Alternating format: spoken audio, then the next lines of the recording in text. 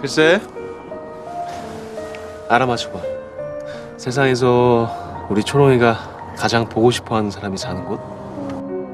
소로이가 세상에서 가장 보고 싶은 사람?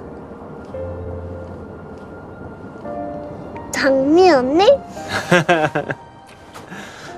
장미야 초롱이 왔어 초롱이가 왔다고?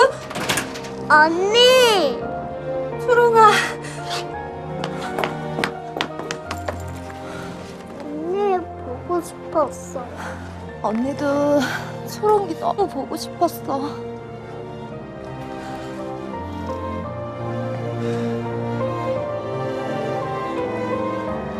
초롱아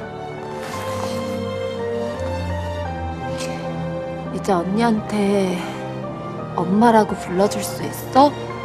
이제 언니 말고 초롱이 엄마 되고 싶어.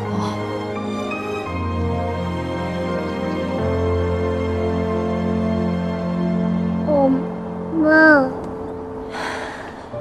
초롱아.